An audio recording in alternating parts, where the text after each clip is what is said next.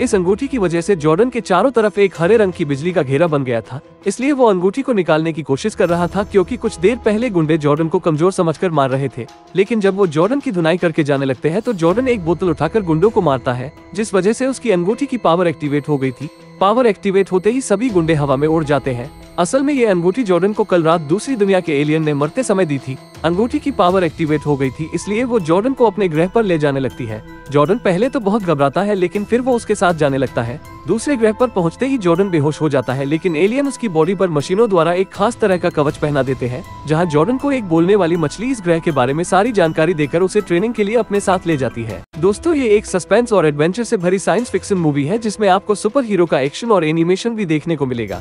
ये मूवी 2011 में रिलीज़ हुई थी, जिसे आई पर पाँच दशमलव पाँच की रेटिंग मिली हुई है। जिस मूवी का नाम है ग्रीन लेंटन। दोस्तों, यदि आपको मूवी की स्टोरी पसंद आई हो तो आप इसे अमेजन प्राइम या एप्पल टीवी पर हिंदी और अंग्रेज़ी भाषा में देख सकते हैं।